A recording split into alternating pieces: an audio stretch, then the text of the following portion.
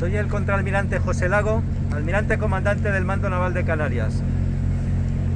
Estamos hoy despidiendo al buque de acción marítima Rayo, que comienza su despliegue como buque de mando de la agrupación de medidas contra minas número 2 de la OTA. Es una gran satisfacción y todo un orgullo para los buques de acción marítima basados en Canarias que hayan sido las plataformas, las unidades elegidas para ejercer una responsabilidad tan alta, ejercer de buque de mando de la Fuerza de Medidas contra Minas Permanente de la OTAN durante todo un año.